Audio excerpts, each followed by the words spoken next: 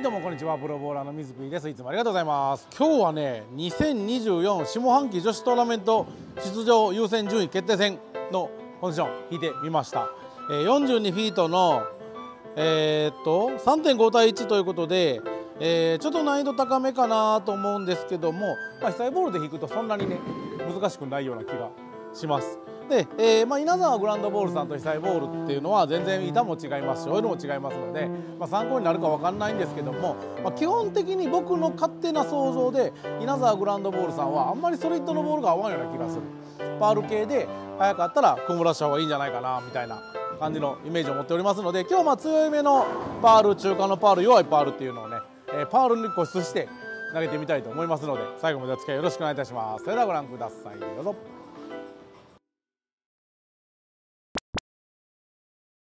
はいそれでは行きましょう。女子順位戦。オイル 24mm なんでそんな多くない。ただ稲沢さんは息がええのであの奥のね息がむっちゃいいんですよ。手前はそんなにあんま感じたことないんですけど中間から奥が球がいく。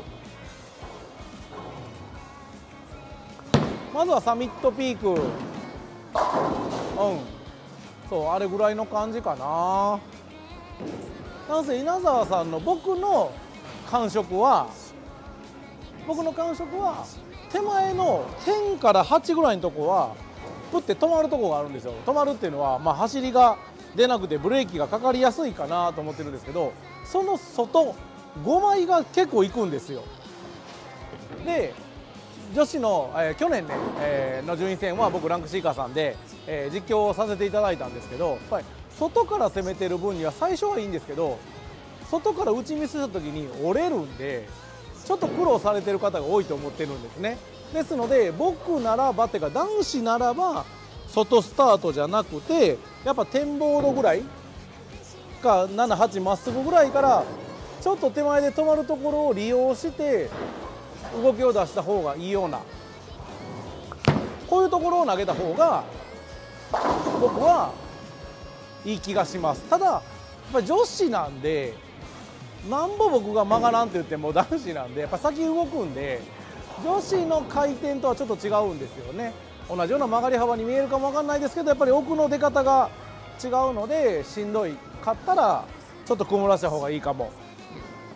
ただみんな気づけないところがあってソリッドで曇らすと手前で終わるから曲がらんからね速いって勘違いするんですよ。ですので僕があのパールかなって言うたのはそういうところ。パールの球で曇らしてる方が壁を見えやすくなる。速さと遅さが分かりやすくなると思ってるんでちょっとボール変えます。だからパールって言ってるんですね。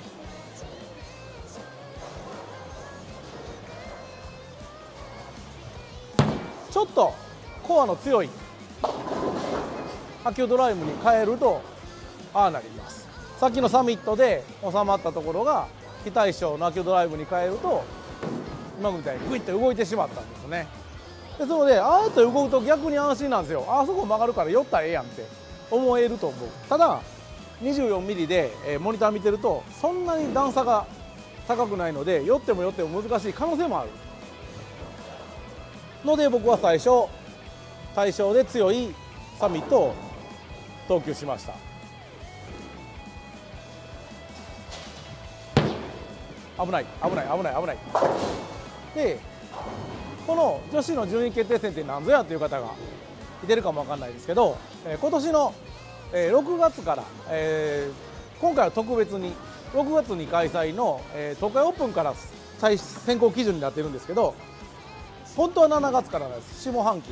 えー、残り6ヶ月のトーナメントに出るための優先順位を決める試合です。で例えば100人の試合だったらシードプロはもともと権利があるので大体シードプロ40人ぐらい出るんで、えー、100人の大会だったら60人上位順位戦の上位60名が試合に出れる、えー、150人の試合だったら、えー、110人か20人ぐらいが試合に出れるというようなことを決める大会なのでこれしくじるとねもう今年残りのトーナメントが出れないんですよ。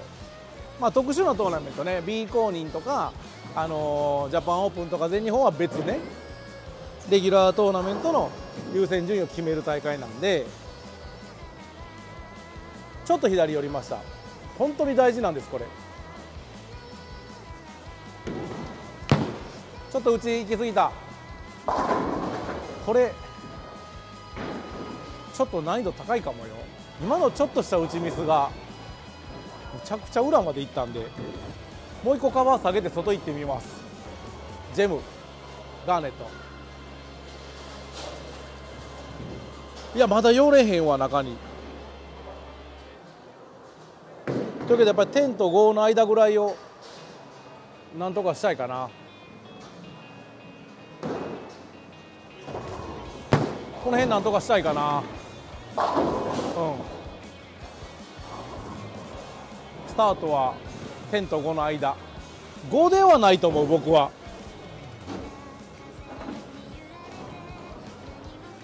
まあ3え？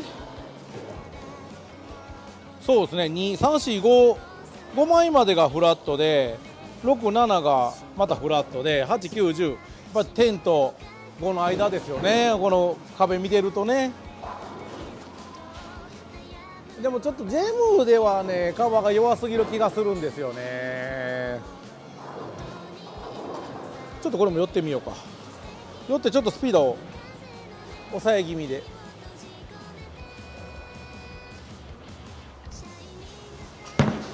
スピード抑え気味ですけど。あいやっでもね幅は感じない。感じないです。ちょっと怖いです。今出たら抜けたらどうしようとか思いながら投げてるんで。いやスタートの3ゲーム大事だねこれ。スタートの3ゲームで削って削って削って内壁が見えてきて頑張れみたいなレんじゃないかな。なんせ24ミリしかないところがミソなんですよ。内オイルを感じない。へえ、マジか。ということで安心感を求めてサミット。に戻ってちょっと中から。止まればこっちのもんこれで。止まればこっちのもん。止まらんよね。ああなるよね。いやちょっと待って。想像してたのと内容が違う。マジか。プラス112ゲームなんでプラス100したら全部出れる気がするな。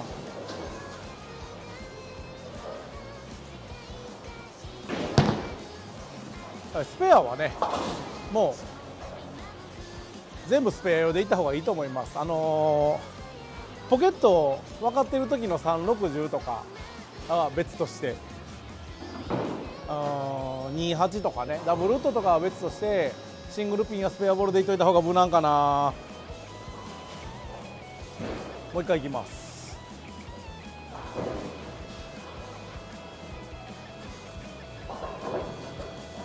ちょっとスピード入れすぎたなさっき。打ち刺さるのが嫌でスピード入れちゃったけど。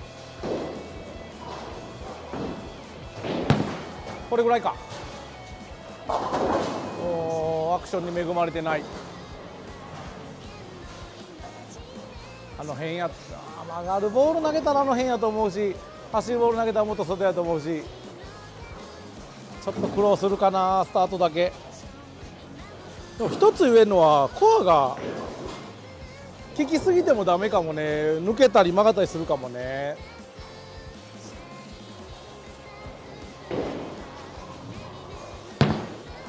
危ない。でこういうややこしい時はスペアもドギマギするんで。ちなみにじゃあ一番僕が最近持ってる走る球で信頼感ができたハイロード投げてみましょうか。これ大外やばいんじゃない？大外っていうか外はやばいんじゃない？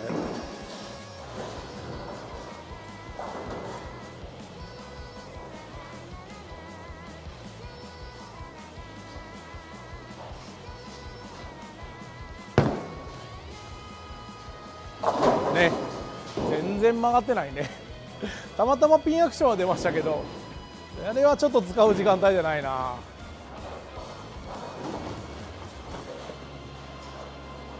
あとはまあ言えるとしたら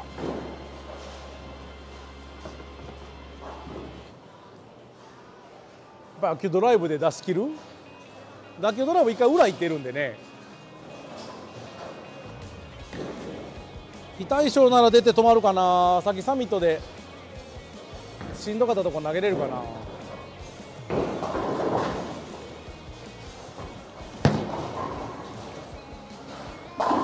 あー厳しいな。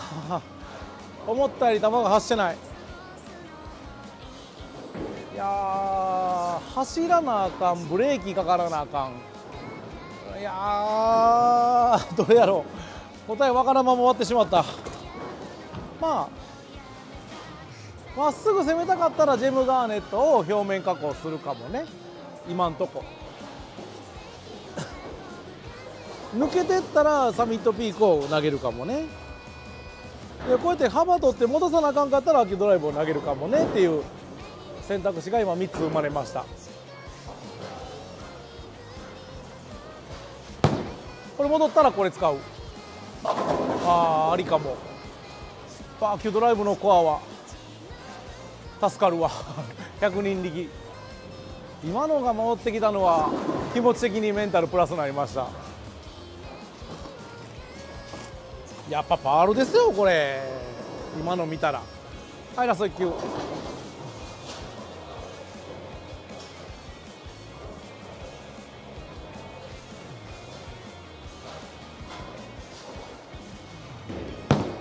これかな？やっぱりね。うんアクション出てる。はいということでヨーロッパで投げてますから230出ましたけどこれがアメリカンなら20点減になるような気がしますね。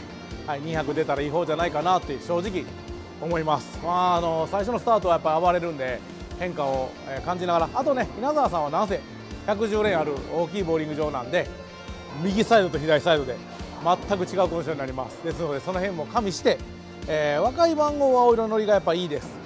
で番号が大きくなればなるほどちょっと真ん中の難しいところがあって右端まで行っちゃうとまた投げやすいっていうのが僕の普段稲沢さんで投げさせていただいている時の感想です。ですので、えー、しのぐレーンはしっかりしのいで打てるレーンの時にしっかり打ち切るこれが上位に行く秘訣じゃないかなと思っておりますのでね、えー、女子プロの皆さんぜひ頑張って権利を取っていただいて、えー、ゆくゆくはねもうシード権を取って順位戦を卒業していただければなと思います。どうぞ皆さん頑張ってください。はいということで本日の内容よろしければグッドボタンチャンネル登録コメントお待ちしております。また次の動画でお会いいたしましょう。ありがとうございました。